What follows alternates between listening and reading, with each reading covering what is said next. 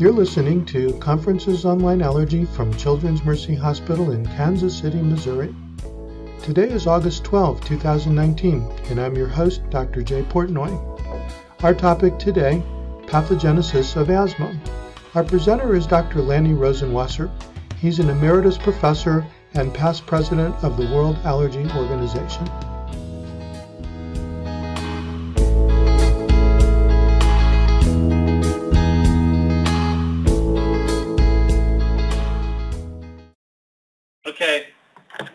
Everyone. This is uh, COLA for Monday, August 12th, 2019. Um, we have two lectures this morning. Um, the first is by Dr. Lanny Rosenwasser. Um, he's going to speak on human asthma pathogenesis.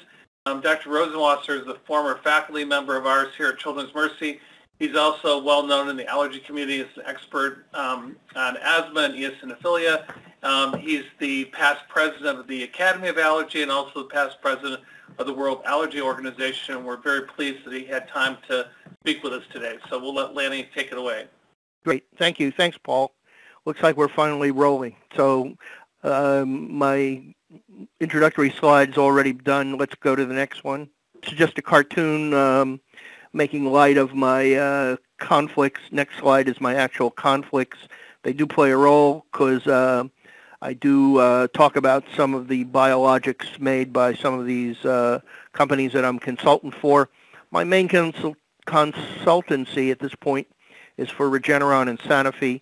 I've been on the IDMC for dupilumab since 2009 when it was first tried, uh, now through a number of successful uh, approvals.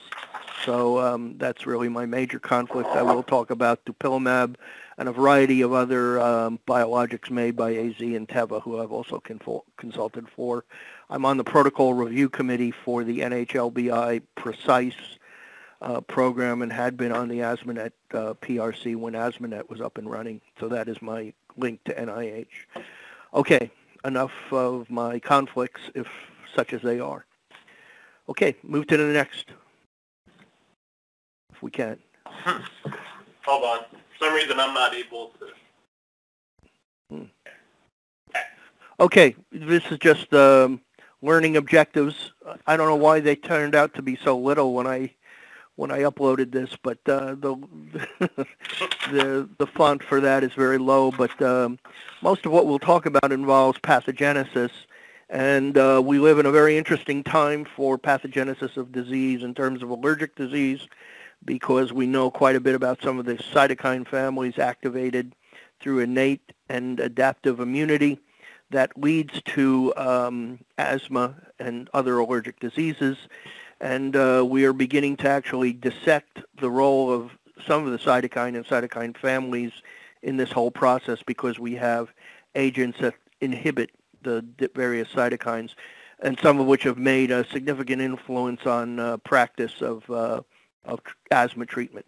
So let's move on to the next one. Asthma is defined uh, at least now for 30 years by the four following uh, criteria. They're narrowing of the airways, airway obstruction, airway inflammation, and increased airway responsiveness. Um, the big leap forward uh, 30 years ago was the recognition that asthma is not just twitchy lungs that close the breathing tubes, but it's actually inflammation and immunity within the within the airway that leads to uh, inf- uh, obstruction and hyperresponsiveness and the immunohistopathology was able to be deciphered starting in the 1930s. Um, excuse me, in the 1980s, not the 1930s. If it was the 1930s, maybe we'd have a cure by now. But in the 1980s, uh, it was clear uh, through the ability to sample the airway through bronchoscopy that the pathology of asthma could be delineated. And there's clear denudation of airway epithelium, collagen deposition, edema, inflammatory cell activation and accumulation uh, in the uh, airway wall that leads to the obstruction and the hyperresponsiveness characteristic of asthma. Asthma is a disease that could be intermittent in its uh, activation uh, so that you can have symptoms uh, very, very frequently relieved by the various kinds of interventions we'll talk about, but the underlying pathology is still there. The underlying inflammation is there, and the recognition of that led to the idea that long-term uh, control or treatments were required to control the disease. Next slide. Uh, just shows the inflammation one sees. Uh, up over here, you can see that there's uh, disrupted airway epithelium, uh, submucosal uh, inflammation, and thickening of the basement membrane below the epithelium, characteristics of the pathology of asthma. Next slide just shows the dense eosinophilia that's seen in the majority of cases of asthma, probably up to 80% of asthmatic cases will have uh, eosinophilia associated with the asthma in the airway wall, if not in other areas, but at least uh, clearly in the airway wall, and in the sputum as well if you can collect it adequately and analyze it. Next slide. Uh, just shows a more high-power view of uh, scanning EM of epithelium that's normal on the left and asthmatic on the right where the epithelium is destroyed and denuded and the uh, submucosa uh, and basement membrane gets directly exposed to the airway. Next one, please. There's um, this airway remodeling that we're talking about with the inflammation and immunity in the airway wall is associated with airway wall thickening, subepithelial fibrosis, increased myocyte mass and myofibroblast hyperplasia as part of this remodeling process and mucus metaplasia and enhanced mucus uh, gland uh, numbers and, and secretion. So mucus uh, is an increased amount. There's actually physiologic consequences of this airway thickening and long-term airway remodeling. Um, there's, in some cases, irreversible or partially reversible airway obstruction. So the definition of asthma involves reversibility of airway responsiveness if there is irreversible or only partially reversible airway obstruction, it could be due to permanent changes induced by the remodeling, or it may be an overlap with other diseases in middle-aged asthmatics who have had on and off control for 20 years. Um, they develop a phase that's very hard to determine the difference between COPD and asthma. And so there's this um, asthma COPD overlap syndrome, ACOS, that's been described.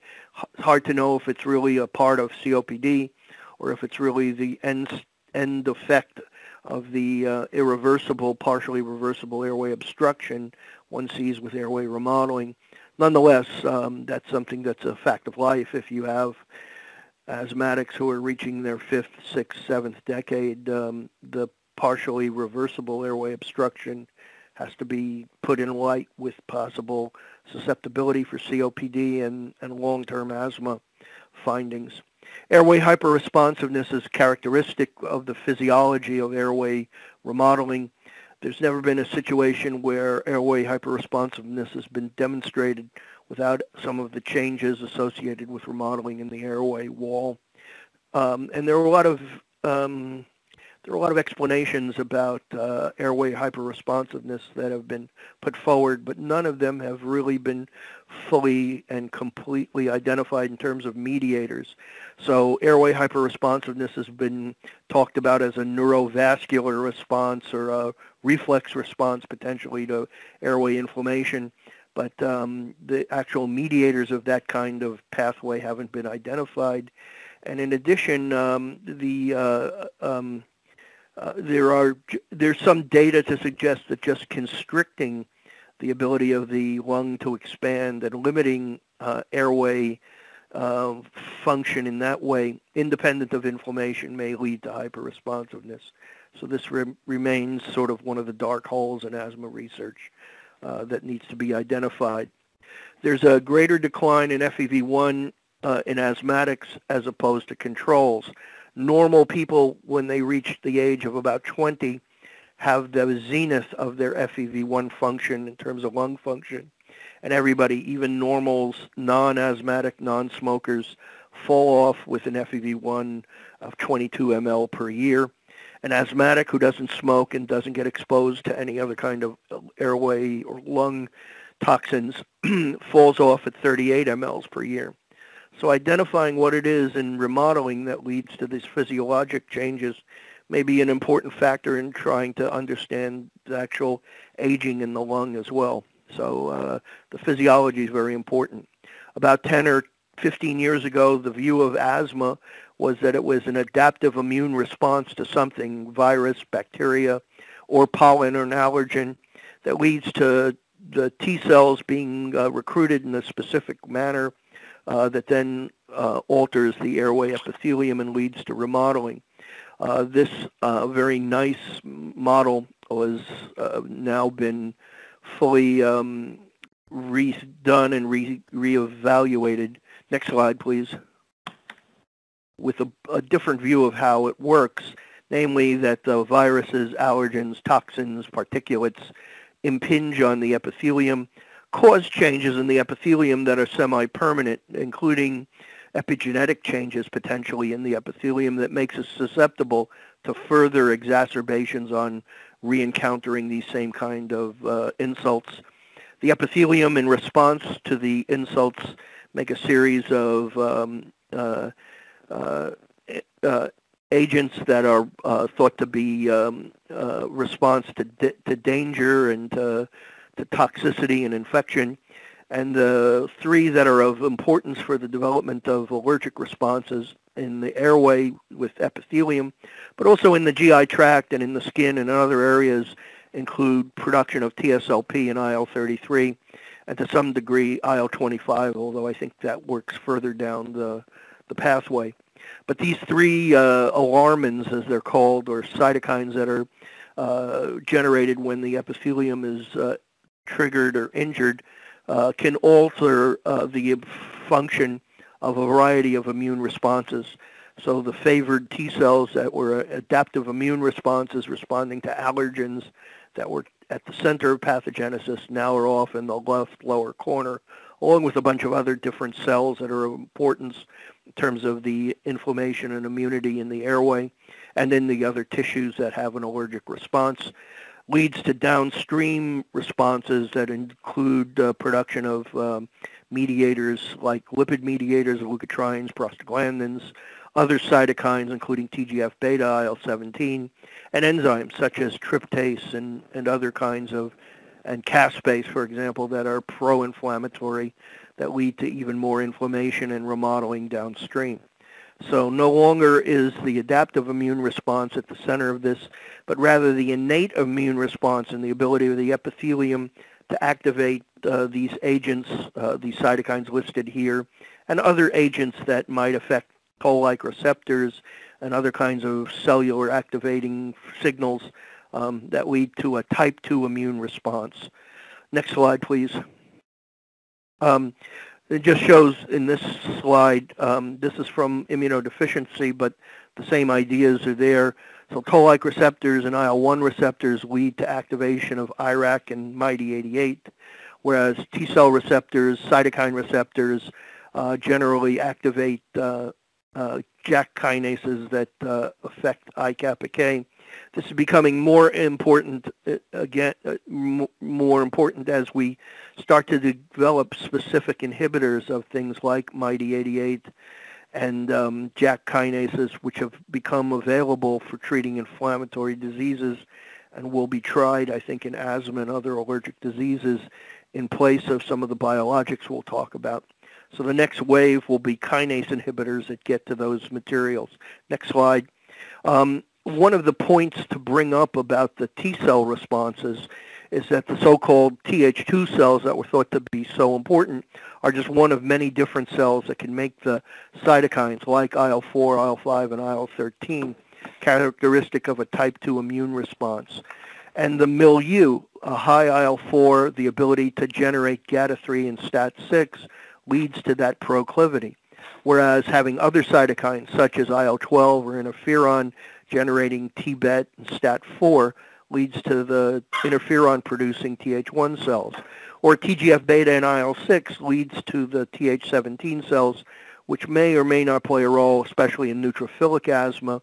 And TGF-beta and IL-2, utilizing FOXP3 predominantly and STAT5, generate regulatory T cells that can downregulate some of the effects of the specific T cells. What's become clear in the next in the last 10 years, next slide, is that none of these cytokine responses, oh, before we get to that, let's just point out that the regulatory T cells are specific for the adaptive Th1 and Th2 T cells and can regulate their expression. Usually through the expression of TGF-beta and IL-10, they are suppressive to other T cells. They use FOXP3 and a unique growth factor called interleukin-35. So that's worth keeping in mind. The regulatory T cells are positive for CD4 and CD25. CD25 is the IL-2 receptor, so I, regulatory T cells utilize not just IL-35 but also IL-2 for their activation. Next slide. Um, there are many other subsets of cells that have been identified in the response in the airway. Natural killer cells, innate natural killer cells, each of which have unique cell surface receptors and cytokine programs, gamma delta T cells, Th22 T cells, which are important predominantly in the um, uh, skin diseases like atopic dermatitis and even psoriasis, and the Th9 C- T cells that are part of an allergic response, and more uh, recently the T follicular helper cells that are uh, uh, especially important in producing responses that um, potentiate type 2 immune responses and are therefore important in allergic responses. About the last 10 years or so, 7 to 10 years, has been the identification of a group of cells that for all the world look like these T cells that have been identified that require different cytokines and transcription factors to be active, but they don't have any of the markers of T cells or T cell development, and they're bone marrow derived and or mesenchymally derived as opposed to um, as opposed to uh, being thymically dependent. And these innate lymphoid cells produce an ILC group 1 type Th1 cytokines. Most important for allergic disease, ILC group 2 Th2 cytokines. And the ILC group 2 ILC2 cells are very, very sensitive to the stimulatory effects of TSLP and IL-33. And that's thought to be the way in which um, uh, some of the uh, innate immune responses activated at the epithelial membrane um, generate uh, an allergic-like uh, profile uh, in some of the pathology. ILC group 3 look like IL-17 type cells and are in the skin as well as in the airway and other tissues, GI tract, etc. Okay, next slide. Asthma is very complex, so this pathogenesis we've started on uh, has several orders of magnitude of complexity. And you can think of it starting at the microbiome, the actual microbes within the airway that uh, may influence response, uh, proteome, transcriptome, and genome of the epithelium and the underlying uh, immune inflammatory cell panoply that's involved in asthma. And then you have to have tissue, organ, whole body responses and even brain responses, since we know emotion can have a big effect on some of the breathing complexities of asthma. So there's a, a variety of these processes. And when you see these little diagrams that I show you about the receptors and the cells and which cells are doing what, all of that is occurring in three dimensions. What I'm showing you on a cartoon is in two dimensions, but the receptors, the ligands, all take place and interact in a three-dimensional way and over time. So there's a fourth dimension. So asthma is highly complex. So it's not surprising. This um, next slide is a depiction of the uh, the last EPR3 now, I guess 11 years ago, maybe 12 years ago, the last NHLBI attempt to try to make a stepwise approach for managing asthma. You can see how complex it was 12 years ago. It's just as complex complex now, but NHLBI doesn't devote any money to upgrading this, so this is what we're left with. GINA, the Global Initiative in Asthma, um, generally updates their approach, uh, schematic approach, about every year, year and a half. So we'll talk a little bit about some stuff that they generated in the last year uh, if we have time by the end of the talk. Next slide. So for severe asthma, the definition of this came up about five years ago in an ATS ERS task force, in which severe asthma was defined by those individuals who need high-dose inhaled steroids and a second controller, either a long-acting beta agonist or a leukotriene receptor antagonist for a year with no improvement in terms of their functional symptoms and or, uh, or other measurement of asthma activity, or use of systemic steroids for 50% of the year. So if they're on oral steroids for 50% of the, of the year, for if they have enough exacerbations, three or four, that they're really on steroids for six months out of the year, uncontrolled uh, despite this therapy is the definition of uh, severe asthma. Next slide. And the assessment of control is an ACQ less than 1.5, an ACT greater than 20, utilizing NAEP or GINA guidelines for definition of ACQ and ACT.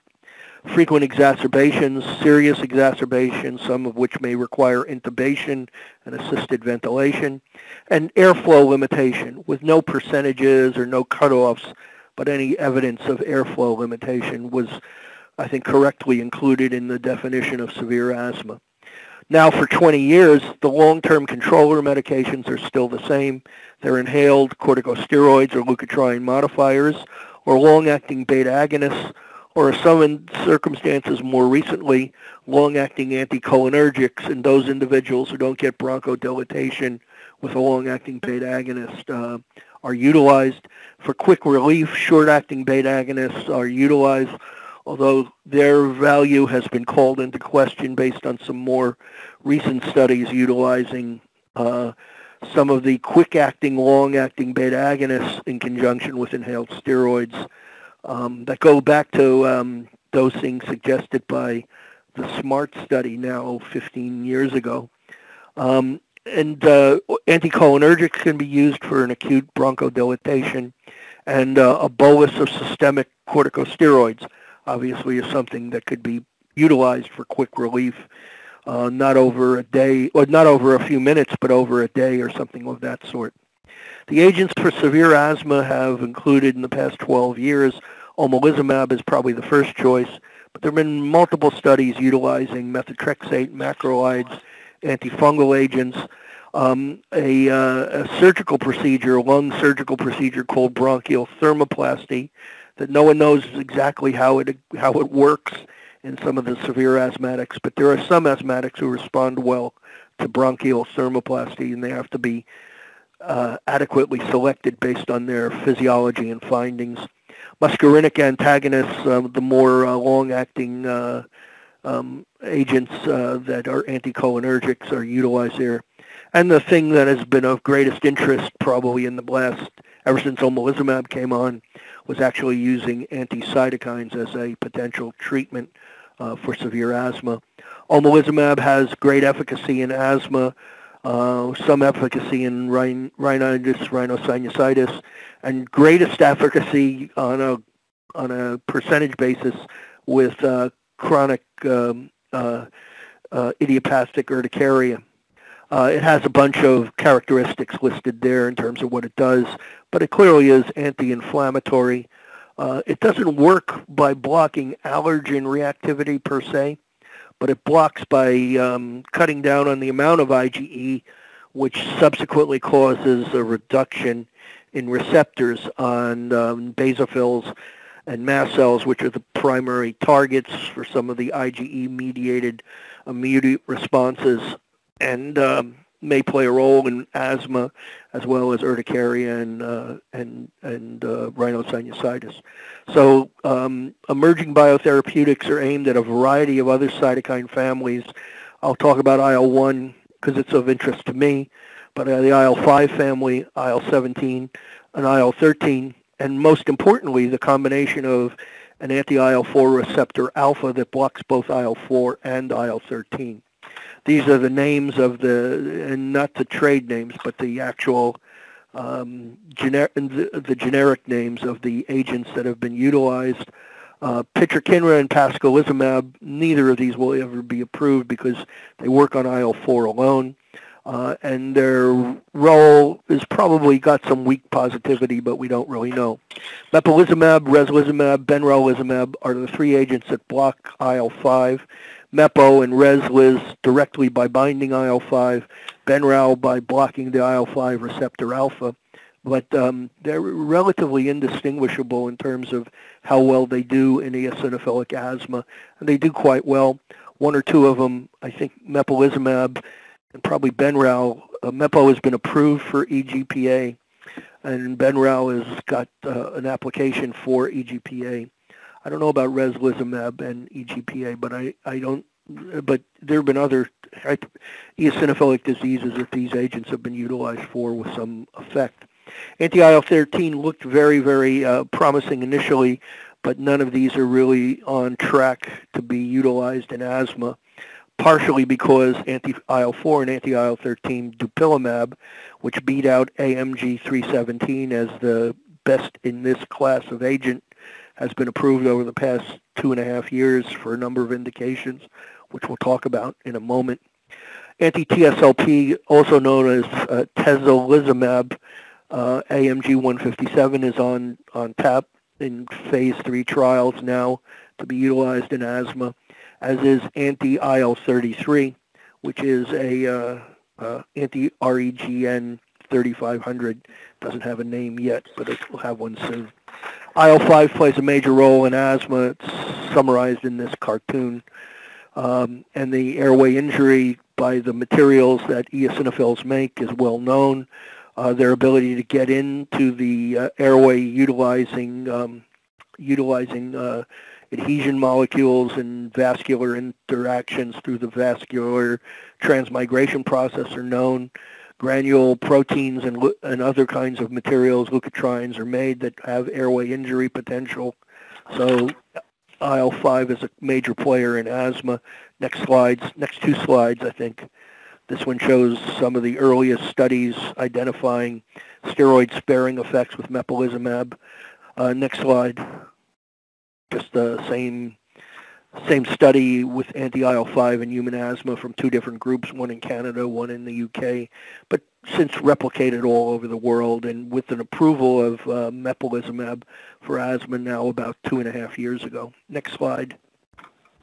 Uh, same, more or less exact same data was accomplished with reslizumab. Reslizumab is uh, approved. There are some subtle differences. Mepolizumab is uh, generally given by injection Reslizumab can be titrated to the size of the patient because it's given via intravenous infusion. So some people think that in the more severe issues, perhaps reslizumab would have a greater advantage, but you have to have access to infusion uh, to actually give reslizumab. So that may be a little bit of a difficult issue. Dupilumab has had um, studies in up to eight or 9,000 subjects with atopic dermatitis and asthma worldwide. These are a couple of the studies, uh, most, all of them in New England Journal or Lancet, that identify uh, uh, benefits of uh, dupilumab in these agents. I had a cartoon that identified where dupilumab works by blocking the site on IL-4 receptor alpha that binds both IL-4 and IL-13, and there's both complete inhibition of those two activities through cytokines in um, with dupilumab treatment. So it's a very uh, interesting way. Ne- next slide is where I had that other picture. So I'll send the new presentation to Paul, and if you want to look at that picture, you can see it. The picture comes from Sanofi, so it's uh, I'll make the I'll make the um, disclosure now, but it's got a cartoon that identifies the different receptors for both IL-4 and IL-13 and how the combined receptor, the heterodimer, is the important one for a lot of the biology. TSLP is a thymic stromal lymphopoietin. It's an epithelial cytokine that's in the IL-7 family, but it's not IL-7 itself. Its receptor is also in the IL-7 receptor family. It activates cells of innate immunity. The ones are listed there, including ILC, ILC2. And it skews Th2 expression.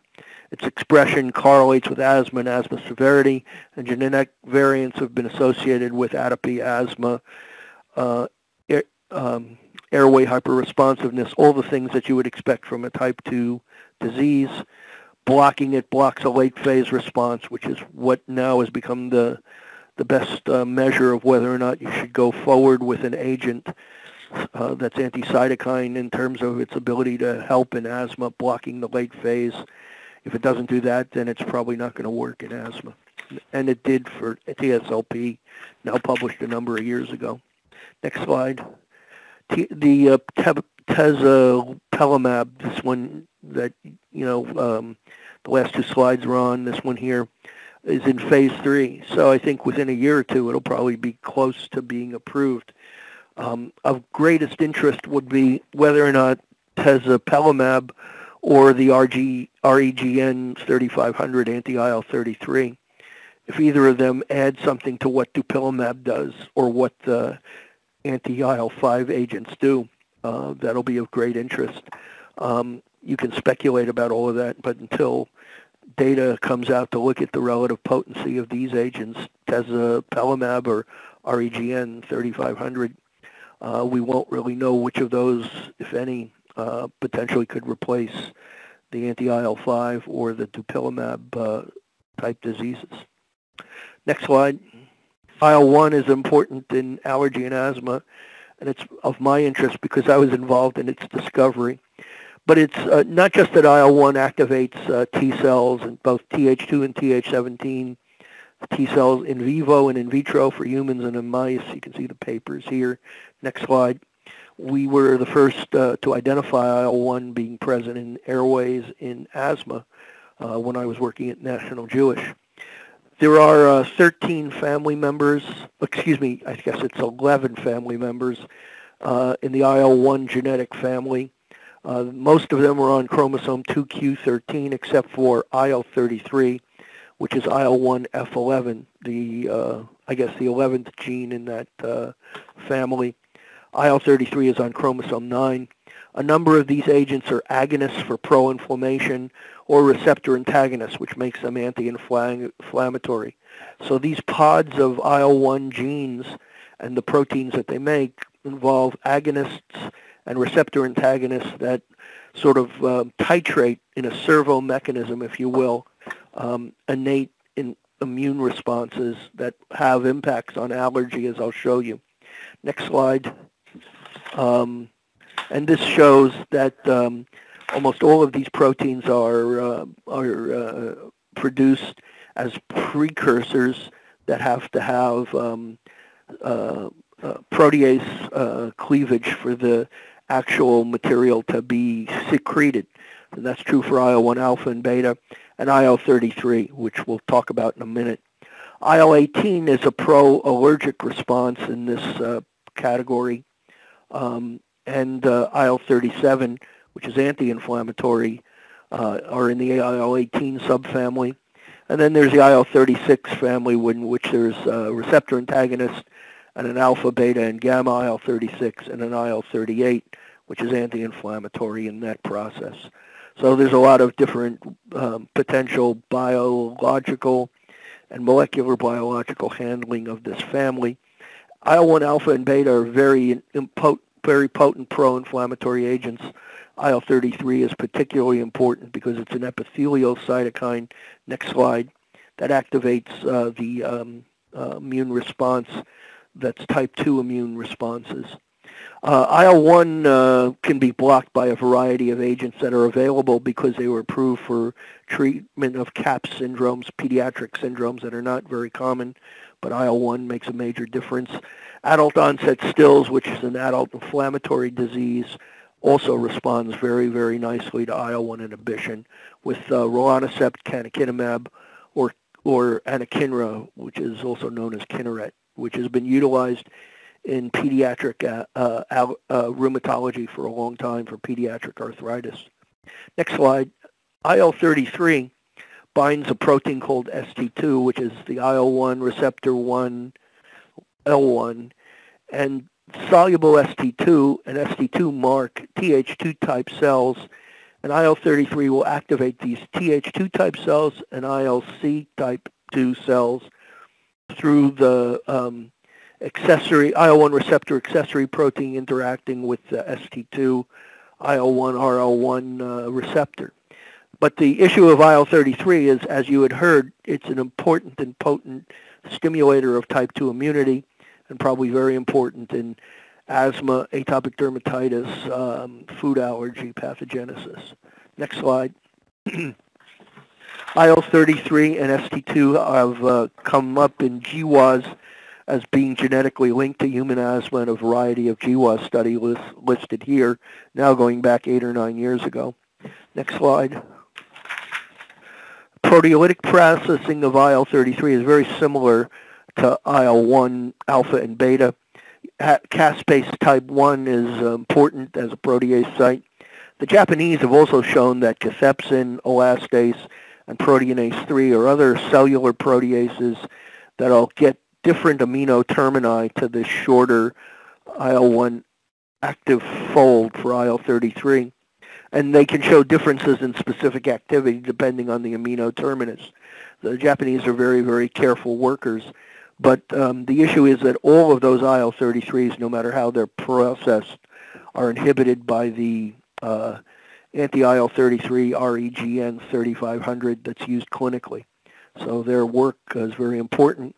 But IL-33, like IL-1, activates a variety of uh, cells, um, type 2 ILC, progenitors for different uh, other cytokine-producing cells, mast cells, basophils, eosinophils, Th2 cells, NK cells, all react to IL-33 and therefore it's an important pro-inflammatory agent. Next slide. And may be important in generating that pathogenesis of asthma and other allergic responses that we've measured and, and, and mentioned. IL-33 has just finished phase two studies and is in the early stages of phase three, as is tezepelumab, the anti-TSLP. Next slide. I just want to re- remind you that uh, Th17 cells have been a hot item for a number of years to try and explain the most severe asthmatics that might be neutrophilic. Um, all of the big uh, studies try and actually uh, subset those individuals who have neutrophilic asthma have not really been uh, pathogenically pure in terms of predict, predicting their activity. And uh, next slide. Uh, the IL-17 family is made up of six genes. IL-17A and F are the big profibrotic uh, neutrophil stimulators uh, within the IL-17 family. IL-17E is IL-25, and that will activate a lot of the cells, both ILC2 and Th2 type cells. And genetics of the IL-17 family is linked to asthma predominantly through the IL-25, IL-17E markers. But uh, there have been studies utilizing the anti um, IL-17 and IL-17 receptor monoclonal antibodies listed here, and also tocilizumab, which is actually an anti-IL-6, not an anti-IL-6 receptor, that's been utilized uh, in asthma studies. Um, the earliest studies show equivocal responses, and that for the, for that reason, next slide, many of the um, uh, many of the uh, pharmaceutical companies have sort of dropped anti-IL-17 in severe asthma because the first studies were un, uh, unrewarding. IL-17 may be an epiphenomenon associated with disease, but not really causing much pathogenesis, or the wrong stratification and appropriate endpoints for the patients who might respond to an anti-IL-17, I think is the more likely uh, circumstance. The whole reason I think the pharmaceutical companies didn't want to progress with anti-IL-17 relates to uh, the anti-IL-17 agents have all been approved for psoriasis, and they're a very lucrative, um, a very lucrative uh, market as far as psoriasis goes. And if the asthma studies sort of didn't look good or caused a problem, it might influence the psoriasis uh, indication. So that's been some of the explanation for why the anti-IL-17 studies haven't progressed, but they may be picked up at some later point when there's a better biomarker for the IL-17 subgroup. Next slide. So the newer treatments we have, omalizumab was the first biologic. The three anti-IL-5 agents are there. Dupilumab is approved not only for asthma and atopic dermatitis, but now rhinosinusitis based on some recent approvals based on a very, very impressive set of data with nasal and sinus polyposis. uh, anti-TSLP, tezepelumab, and anti-IL-33, REGN 3500, name pending. Both of those are probably going to be coming up. This comes from the latest iteration of GINA uh, guidelines 0.6b, which is if you have patients with severe asthma and they reach a particular point of view, the biologic options you have are anti-IgE, anti-IL-5, anti-IL-5 receptor, and anti-IL-4 receptor for IL-4 and IL-13 type 2 immunity blockade. It has here some of the factors that you can take into consideration uh, for selecting a biologic to make the next move. And then clearly, you know, you look to a response within 6 to 12 months, perhaps 4 months, and then you continue that as long as you can, as long as the patient's under proper control. And eventually you try to wean them off these biologics and see if their asthma has altered to the point where they're no longer in the severe category. Um, let me just say that um, my sense of how this is working is that people still pick the omalizumab because they're used to it. They know how to get it approved. They know how to give it to the patients in the beginning. And it's much like the rheumatoid arthritis and the anti-TNF area. Besides anti-TNF, there are about four or five other biologics that have now been approved for um, uh, rheumatoid arthritis treatment. But the rheumatologists still use Humira and TNF blockers as a first step because they're used to it and they're used to having the payers accept it. So I think omalizumab still will have an advantage for that reason alone although I think in strongly eosinophilic asthma or EGPA, the anti-IL-5s are the first choice. And probably most of the asthmatics, since there's no biomarker that specifically is associated with IL-4, IL-13 blockade, although the higher the eosinophils, the higher FeNO, the better it does, um, as you would expect in uh, maybe these type 2 immune responses, the next step. So I think that's more or less, let's keep going. I have a couple of, just a summary to figure out exactly how we, um, how we work and how do we get to the next step in terms of biomarkers and pathogenesis beyond the cytokines. Some of it is related to the signaling molecules, JAK-STAT, MyD88, IRAK, etc that might provide more small molecules that'll work. But once we learn more about pathogenesis through mathematical theory, high throughput, big data analysis, I think um, we may get a better idea of which roads to follow beyond the biologics I've already summarized for you from that GINA summary. Next slide. Yeah, uh, that's what I think for the future. I've been talking about this now for about 18 years since I was president of the Quad AI. Next slide. In 2004, I had a view of what was going to happen in allergy 2030. I still think that that's true. Biotherapeutics is the key. We know that the cytokines play a major role based on the outcomes we're seeing with the anti-cytokines. We'll start to, pro, to, to hone that, start pharmacogenetic profiling. And why get seen in rheumatology? Uh, these agents, even though they cost so much, I think they'll move to a particular level where you start to consider the biologic agents as a first step, especially in younger individuals because most of the uh, toxicities associated with these biologics is minimal compared to some of the small molecules and the inhaled steroids that we've been using for decades now. So I think we'll start to see early intervention, perhaps defined by biomarkers and pharmacogenetic profiling Next slide. I don't think I have any more. Yeah. Uh, I'm a big fan of the WAO journal. It's no longer Biomed Central. It's now Elsevier, but it's all open open access and it's all electronic. So uh, it's got some real good aspects.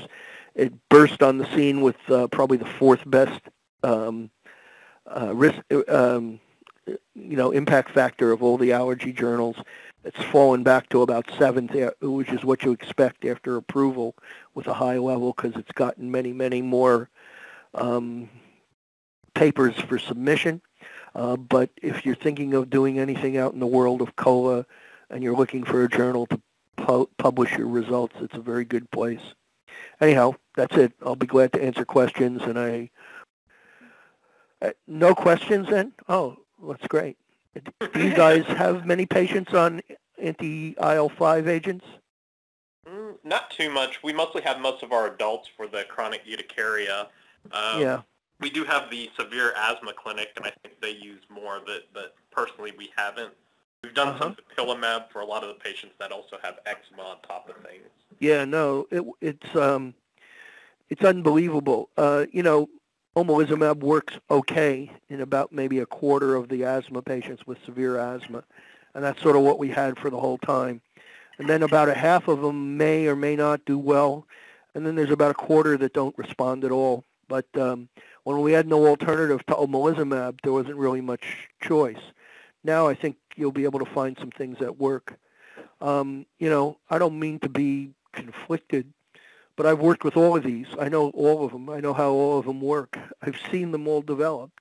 And um, dupilumab's pretty striking. Uh, none of the ones I've seen have had uh, so such a good success right off the bat. There are a lot of people who think that maybe the tezepelumab and the anti-IL-33 are going to be better than uh, dupilumab, and I'm not so sure that. One thing that I've learned in this kind of stuff is that uh, doing studies with these bio biotherapeutics, uh, what you would predict very often is not how that really turns out. Usually, something else happens in the in the way it turns out, and so um, we'll see what happens with uh, the anti-TSLP and anti-IL-33 and where it fits into treatment. But you know, it's that's a couple years off. Anyhow. Thank you, Lanny. I appreciate it. Sure, Paul. Take care. No problem. Bye-bye. Thank you.